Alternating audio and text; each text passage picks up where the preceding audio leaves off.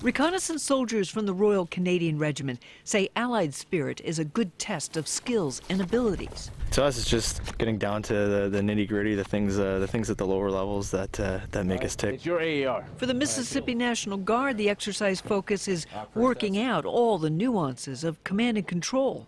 Nemesis Troop, part of the 2nd Cavalry Regiment, is fine tuning. Right now, we're just doing uh, some small scenarios to, to get our platoons and, and smaller units into, into the thought process of moving forward. Moving forward is the mantra for some 2,000 soldiers from five nations, using this multinational exercise as a catalyst for professional growth and personal improvement.